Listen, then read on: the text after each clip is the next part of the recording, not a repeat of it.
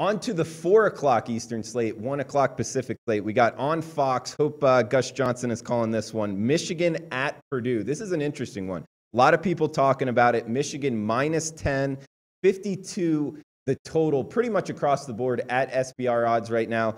Kelly, which one are you, which way are you looking to go in this Big Ten matchup?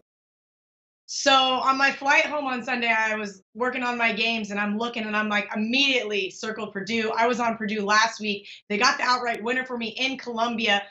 That does make me a little bit nervous that they could be the trendy dog with the public this week. But this Michigan Wolverines offense is so inept.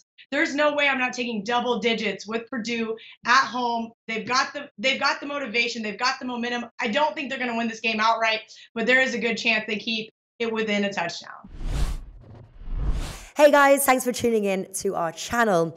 Now, we've put a lot of work into producing all these free videos, so please help us out and keep all our content free for you forever by simply liking, sharing, commenting, and subscribing.